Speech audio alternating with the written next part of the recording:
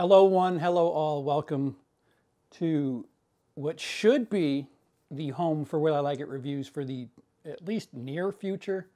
Um, it's been a while. Uh, I should be as close to relaxed as possible as far as filming locations is concerned. This, while not done, is where I should be for the foreseeable future. Anywho, if you've been following my personal story, you'll know that I said that 2016 would probably be the last time that things would be a little volatile and tumultuous. But 2017 was just an utter departure in every sense of the word. I spent most of the year in Denmark, and that meant that I couldn't see films at quite the same rate that I did previously. The two previous versions of this list, the list, also known as CPC's Films in Blank Year, well, each other time it was over 100 films per list. This time I had to really bust my ass and struggle. I think I saw like 30 films in the last month, uh, maybe even more, because I think I was at like 45 in late October. And this year's list will be a tight 80. So that means I haven't seen stuff like Wonder Woman, Beauty and the Beast, Justice League. Those, those films just won't be on this list. I'm sorry. Here's to the list that I do have. Another thing to note is uh, this will probably be the most bizarre as far as release dates is concerned because, like I said, I spent most of my time in Denmark. You may see some films that appear to be late 2016 releases to you, but because I was in Denmark, I wasn't able to see them until 2017. So this list may have a couple of movies where you're like, wait, that's that's really old. But it's my year. It's the 2017 films as I saw them, as I was available to. That's a lot of quoting. Anywho, on to my least favorite film that I saw in 2017. I could make a bunch of different jokes here about this being the film equivalent to 9 11 if it weren't titled 9 11 um, if it didn't feature such star power, I, I, perhaps I wouldn't put so much on it. But when you have Charlie Sheen, who's granted hasn't done anything spectacular recently, especially in film, uh, and then Whoopi Goldberg, uh, I expect a little bit more than a, a really, really not good made for TV movie that is kind of offensive to anybody who's been around that that time period and or knows people who survived and or perished through that film. Got an attitude now. High student, low TV movie rate. And I guess I expect a little bit more when you have Oda Mae Brown and Ricky Vaughn in the movie. You're full of shit! Fuck you! This guy is in 9-11. And no, he didn't play one of the planes.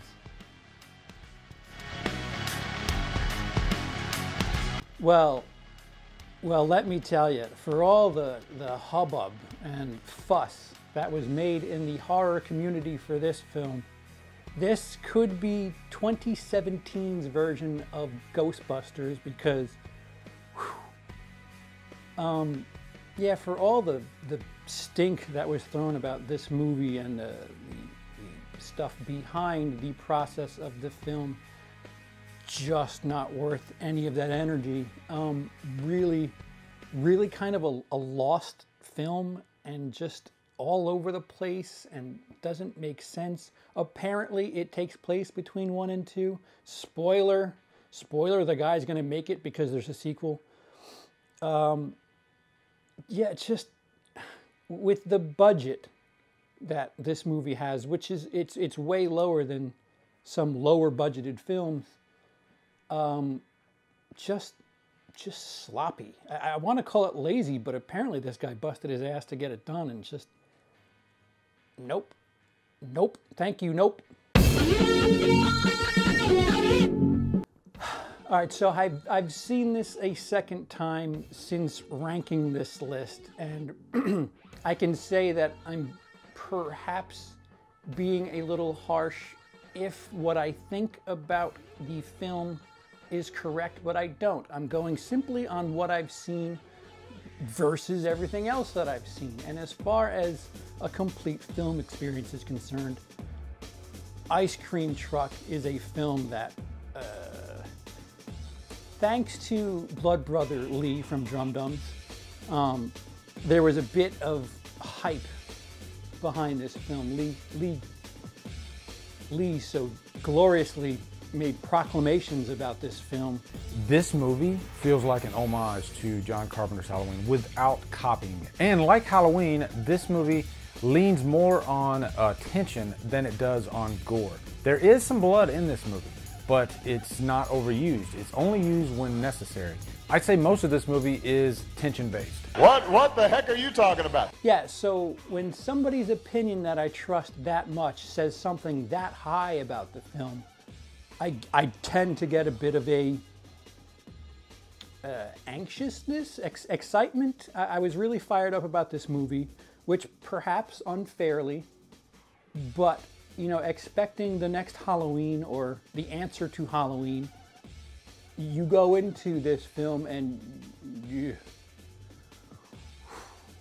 Um, I, I'm- I'm dying to know the budget of this film because I really think that there's corners cut for the sake of budget. No, no coverage in a lot of shots, um, which is me making excuses. But again, if if I didn't know anything that I do, um, if I'm just soaking this up as a film and somebody told me you're gonna love it, it's like Halloween. Well, I don't know if if I would never talk to that person again. Nothing against it. Well, you know, it's it's. I, I, I can't. I can't talk about this movie anymore. Megan Freels Johnson, please call me. I'd love to have a a artistic debate about this film because I'm I'm curious to see if if maybe some of my theories are wrong or or not. Or I'm just an asshole.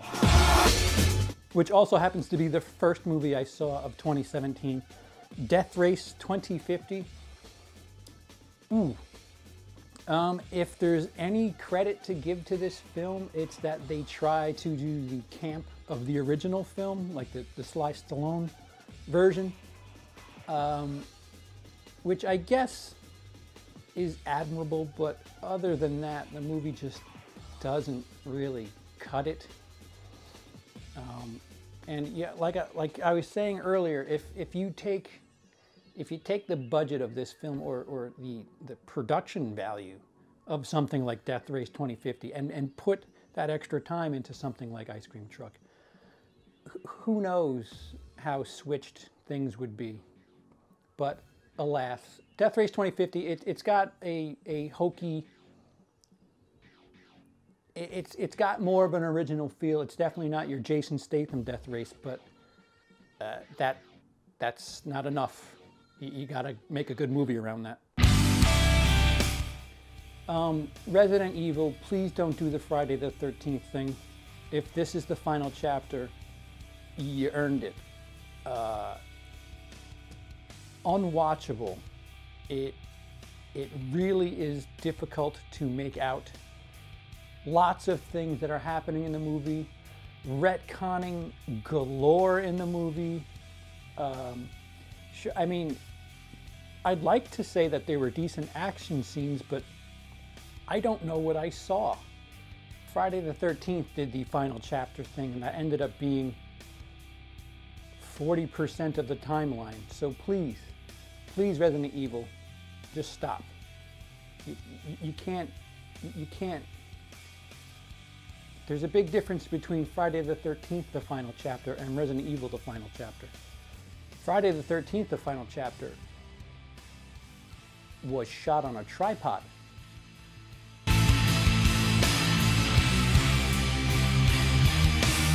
Robert De Niro playing a comedian. Yeah, I don't I don't take offense to this at all. Kind of unique to see the film open with Robert De Niro on a stage that I've graced. I've performed at, at Governors in Levittown quite a few times. So th- there's that. By some six degrees of Kevin Bacon way, I opened for Robert De Niro. Um, I could safely say that I outperformed him too. Um, yeah, don't don't call this movie the comedian. He, he he plays a comedian, and then a love story happens. Just it's a funny story, maybe. Hmm. Chips. Well, you, you took you took an old TV show that was on network television and threw a bunch of curses into it. Um, I, I, don't know if major studios just think, all right, well, this worked for 21 Jump Street, so let's just let's just do that. Um, it didn't work. It's not that funny, and I don't, I don't, I don't know very many people who are fans of the original show Chips. Let alone people who who thought this was necessary, but it happened and now it can go away.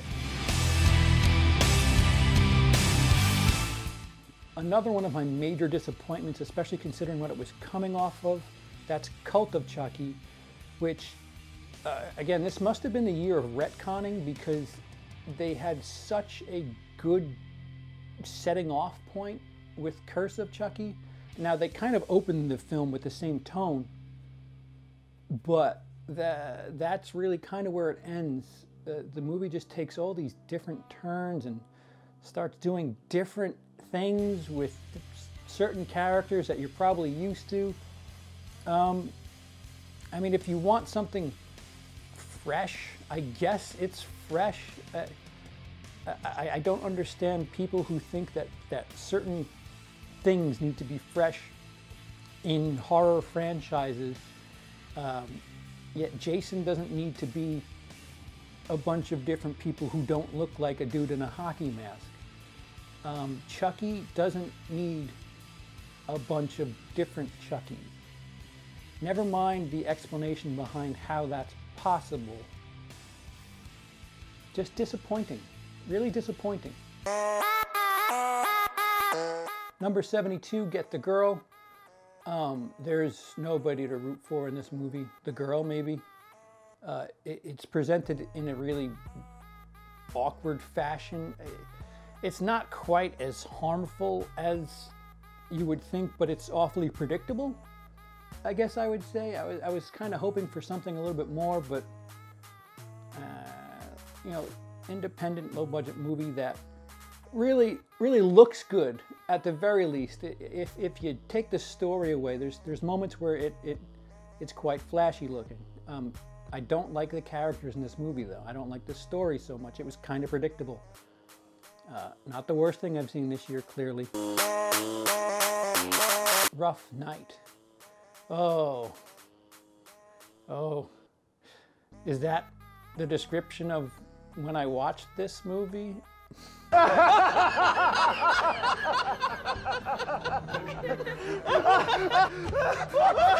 Jesus Christ, great. Very Bad Things, the female version.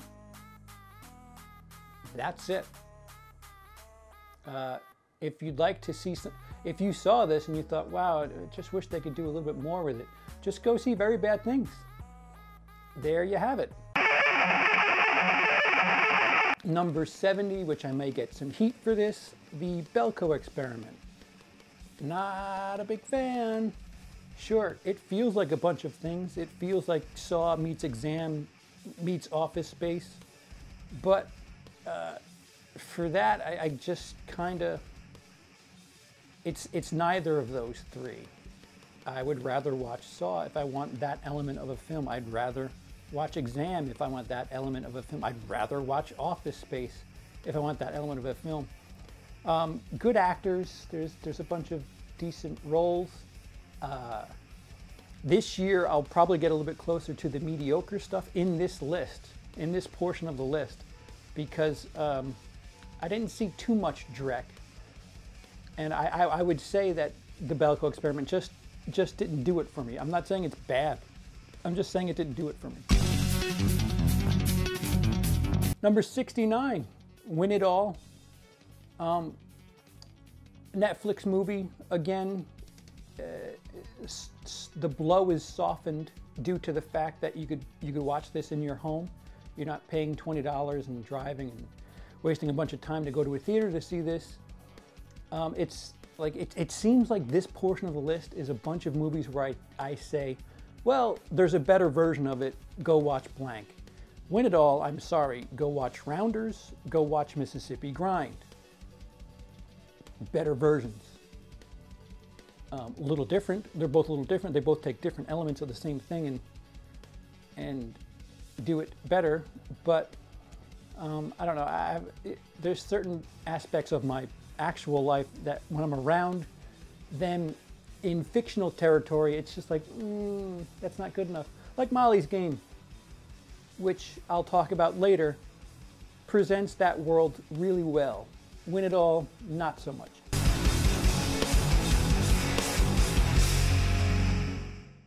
Um, harmless. Is it hysterical? No. Did I chuckle a couple of times? Yes. Um, will I ever watch it again? Probably not. Um, this, the less you pay for it, the, the less harm I feel it'll do to you. Uh, unnoteworthy.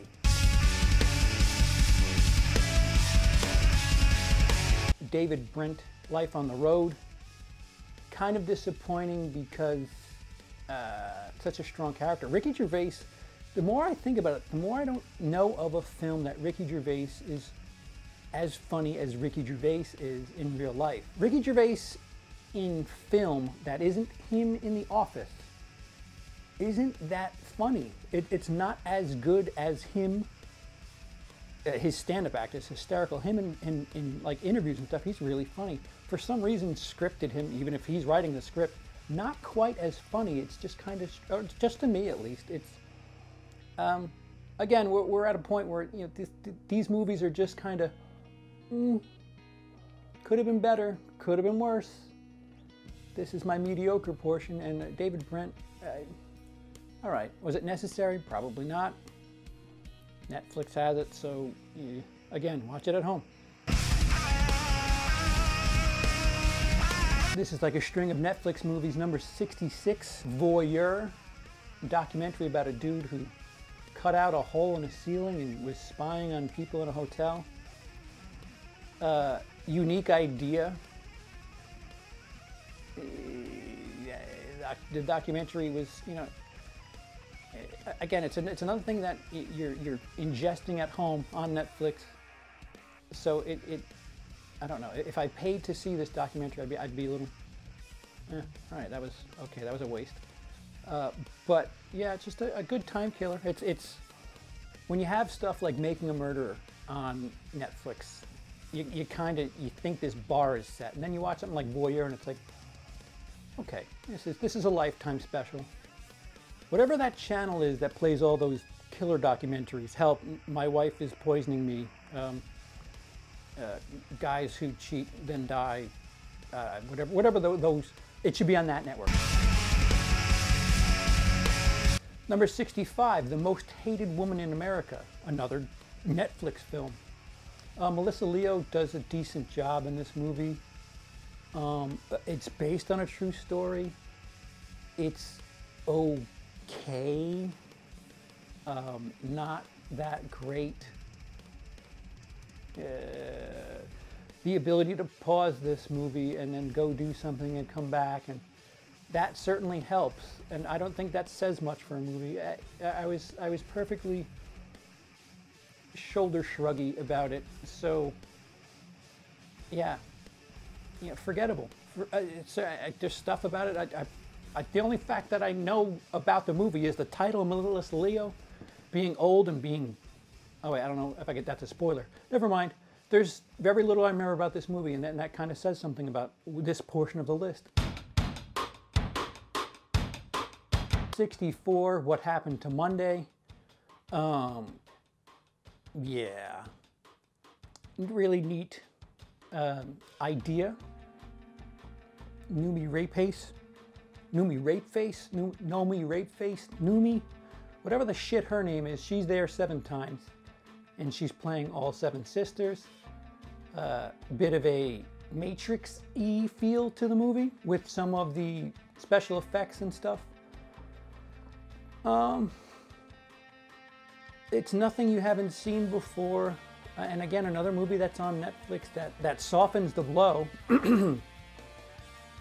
so, I mean, I guess these movies, if uh, like this last string of movies, is stuff that thankfully it's on Netflix because if you paid blank amount to see it, I'd be a little bit more pissed. But eh, harmless, nothing that's sticking with me but harmless.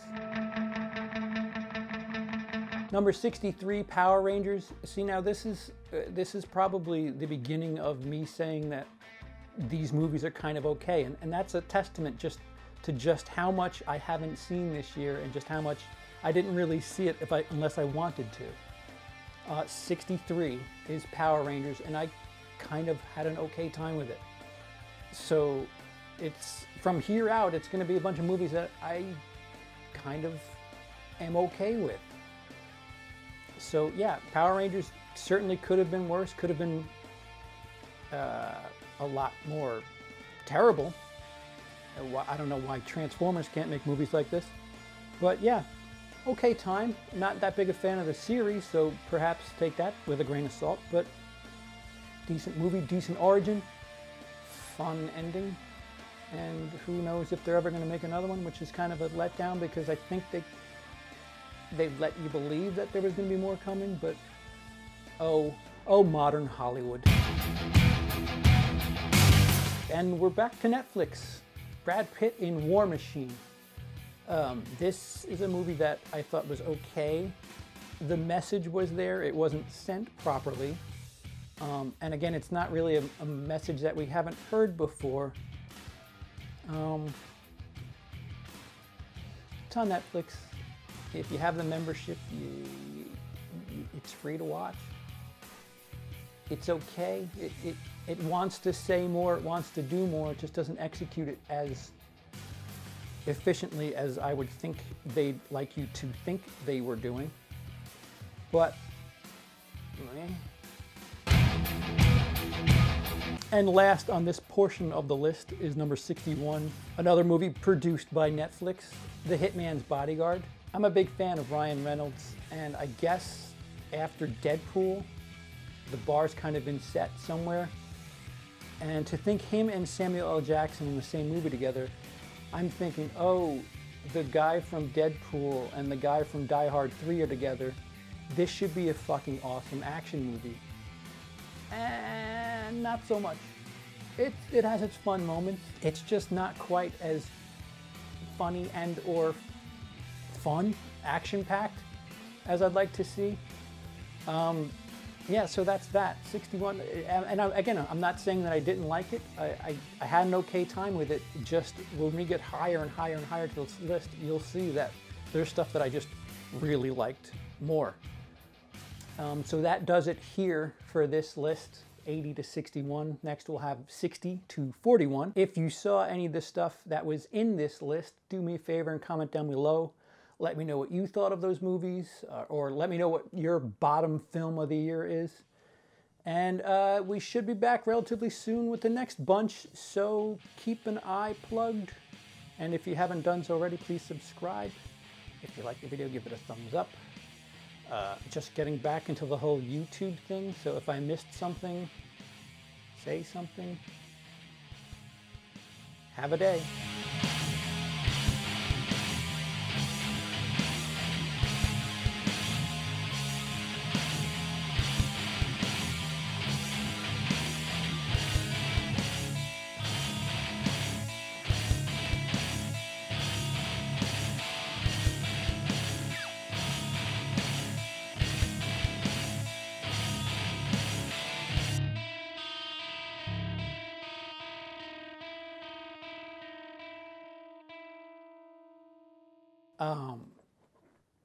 I'm a big fan of Rob Robin Robin Roberts. I'm a